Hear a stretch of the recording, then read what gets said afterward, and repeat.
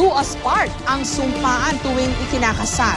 Pero sa tala ng Office of the Solicitor General, sa nakalipas na isang dekada, tumataas ang bilang ng mga naghihiwalay at nagpapaanal. May report si Rida Reyes. Of Matapos ang mahigit isang taon, inaprubahan na ng korte ang annulment ng kasal na aktresa si Chris Aquino sa basketballistang si James Yap. Psychological incapacity at lack of requirements ang ginamit na grounds for annulment ng magkabilang panig. Naging maayos naman daw ang issue tungkol sa hatian ng ari-arian pati ang kustudiya sa anak nilang si Bimbi. Pero si Hazel, aminadong di naging madali ang pinagdaanan bago nakuha ang annulment. 1996 na magpakasal siya sa dating asawa. Isang pagsasamang nauwi rin sa hiwalayan matapos ang dalawang taon. Pero sa kagustuhang matuldukan na ang ugnayan, nag-file ng annulment si Hazel dahil umano sa kanilang irreconcilable differences ng dating mister. Sinasabi sa akin paminsan ng mami ko na um, kawawa naman yung anak mo, lalaki na walang tatay. Ang sagot ko sa kanya lagi, mas kawawa naman siya kung lalaki siya sa ganung pagsasama.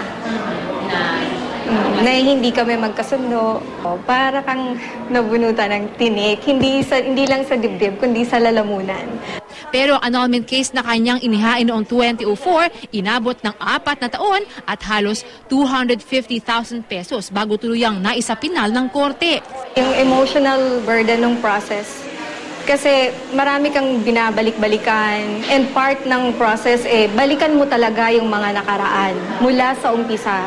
Parang nagsa-storytelling ka eh. Sobrang worth it yung yung price na hiningi sa akin ng ng lawyer. I think um para sa akin mura pa nga yun eh. Doon sa peace of mind na naibigay niya sa akin. Sa datos ng Office of the Solicitor General, ang mahigit 4,000 kaso ng annulment na naihain noong taong 2001 halos dumoble sa mahigit 8,000 nitong 2010. Karamihan, psychological incapacity ang idinadahilan sa hiwalayan. Normal daw ito ayon sa family lawyer na si Attorney Irene Garcia, lalo pat unti-unti na raw naging bukas ang kamalayan ng ating lipunan pagdating sa karapatang pantao. Pero sa raw komplikado ang proseso ng annulment, lalo sa isang bansa gaya ng Pilipinas kung saan di pa ito masyadong tanggap. It's it's a complicated process in the sense na hindi lang yung validity ng marriage nga because all the other issues relating to the marriage including interest of the children, property relations, custody, support, dissolution of the property will all have to be considered and resolved in the course of that annulment case.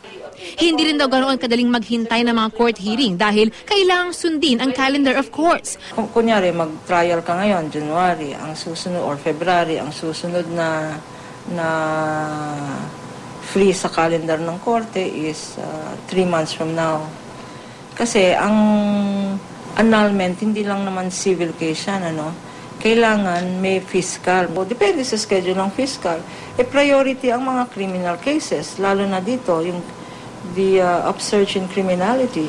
Pero sa huli, dapat tandaan ng bawat tao na hindi kailanman dapat magamit ang annulment para takasan ang sinumpaang responsibilidad. You have to know what marriage is all about. Marriage is a commitment. It is uh, when you get married, you become a wife or you become a husband, and there are duties and obligations of a wife to the husband and vice versa. Rida Reyes, GMA News.